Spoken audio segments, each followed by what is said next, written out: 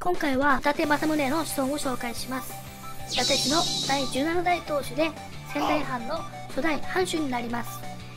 伊達政宗の子孫と聞くとお笑いコンビサンドイッチマンの伊達みきおさんが思い浮かびます。ですが実際は文家の末裔になります。そんな伊達政宗の直系子孫が伊達花子さんです。政宗から直系の21代目になります。2018年のミスワールド日本代表に選ばれました。慶応大学法学部出身でスタイル抜群。まさに彩色兼備の持ち主ですね。今回も動画をご視聴いただきありがとうございました。高評価チャンネル登録よろしくお願いします。